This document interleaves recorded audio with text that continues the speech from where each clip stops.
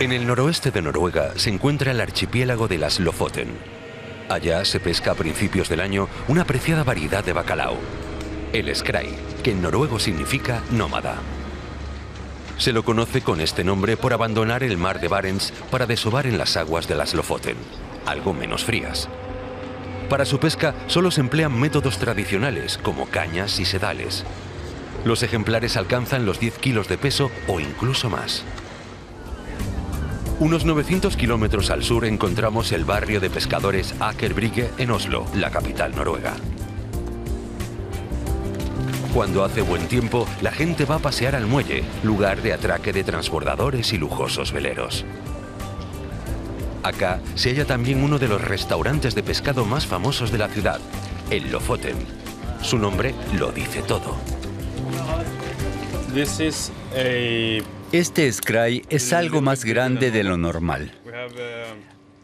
Hay tres tamaños que van desde los 2 kilos, por supuesto más pequeños, hasta los 6 plus, que son ejemplares de entre 6 y 10 kilos.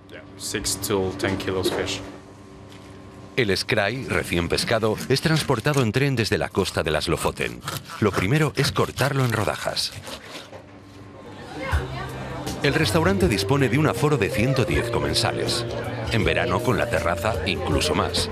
Cuando es temporada, los noruegos salen a degustar el Scry en su variante más clásica y tradicional. Vienen muchísimos clientes que encargan el menú de pescado con antelación. La temporada de Scry comprende febrero y marzo. La manera tradicional de prepararlo es servido. Se sirve con zanahorias, hígado y huevas, la preparación típica de la vieja escuela.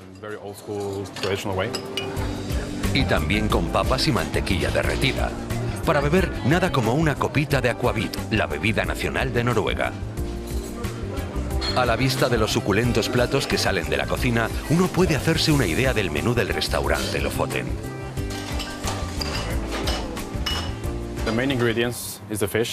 El ingrediente principal es el pescado, procedente de nuestra costa.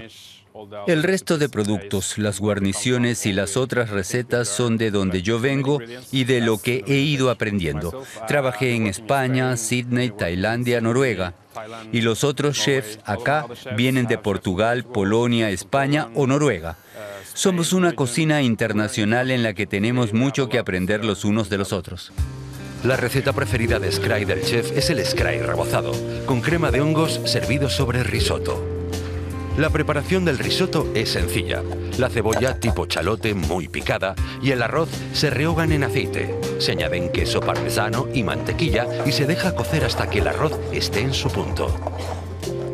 Para la crema de hongos se sofríen los champiñones y el chalote picado en mantequilla. Se le agrega crema en abundancia y se mete en el horno a 140 grados durante 30 minutos. El líquido se pasa por el colador y el resto se mezcla en la batidora hasta obtener una especie de pasta. Ya solo queda cortar y empanar el scry. Estos son hongos silvestres secos, de los que hay en el bosque. Se sofríe en la sartén y se hornea durante 4 minutos a 180 grados. Ya podemos preparar el plato. La crema de hongo se emplea simplemente para decorar. Y este es el aspecto de una presentación profesional. No solo su aspecto es apetitoso, sino que su sabor es delicioso.